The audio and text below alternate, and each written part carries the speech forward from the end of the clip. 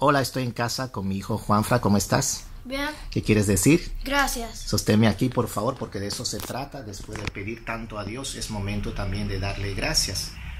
Hola, Dios. Gracias por la letra G de grandeza de tantos hombres y mujeres. Gracias por la letra R de resistencia de todo un pueblo. Gracias por la letra A de amor, tanto amor desbordado.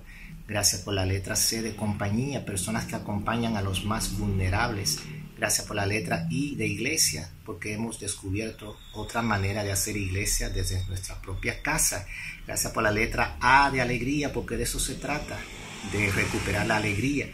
Y gracias por la letra S de sacrificio de tantas personas que lo han dado todo por los más vulnerables. Y por eso, quedémonos en casa meditando y practicando estas siete letras. Amén.